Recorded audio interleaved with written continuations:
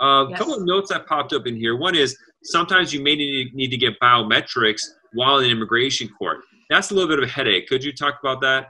Yes, and this is necessary. So your client always, in any type of application, whether you're in court or not, the government wants to get your client's fingerprints to make sure they don't have any, you know, they're not wanted by Interpol or they're not some international, you know, criminal. So if you do not, if your client does not comply with biometric requests, the judge can see that as an abandonment of even trying to fix your case and can give you a removal order. So usually what happens, yeah, you show up in court and the government, they're kind of responsible for serving you with biometrics instructions. And these biometric instructions, you can find them online and they're part of the outline, but it's essentially, it's a document that's titled um, certain in- instructions for filing certain applications in immigration court.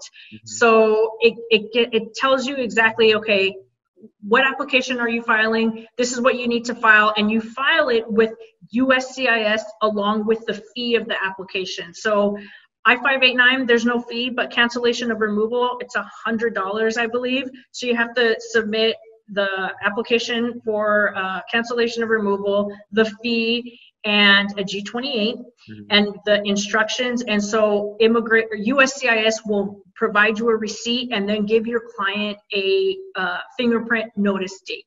And so you always, always have to do this for every case that you're litigating in court. Thank you for listening to this episode. For previous episodes and more, please visit the podcast page of our website, immigrationlawyerstoolbox.com. You can also visit the Toolbox YouTube and LinkedIn pages to catch the video versions of these podcasts, news updates, and a lot more. Immigration lawyers can also contact me to join the private Facebook page.